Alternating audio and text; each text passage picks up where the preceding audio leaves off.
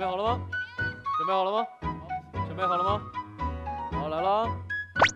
好，音乐。Going on outside, no